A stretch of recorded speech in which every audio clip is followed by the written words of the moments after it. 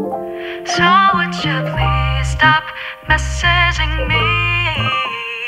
TLDR, stop bothering me.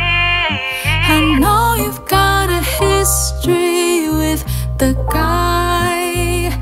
I've only known him since July, but I got no time for April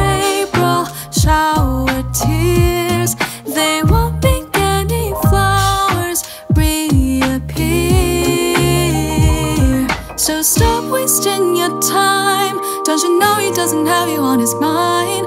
On his mind, on his mind. So would you please stop messaging me? TLDR, stop bothering me. Spamming my inbox all of your feelings. You'll get your way whenever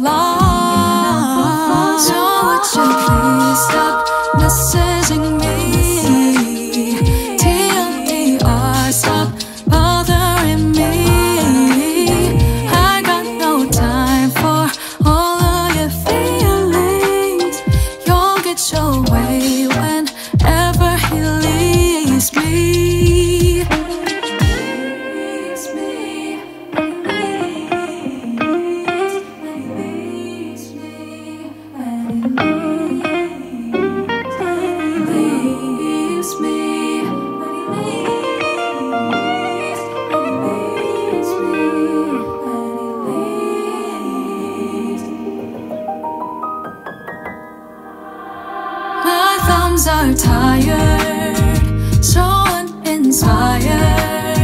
Spare me the energy, stop messaging me. I got no time for history lessons. Don't spoil this mystery, stop messaging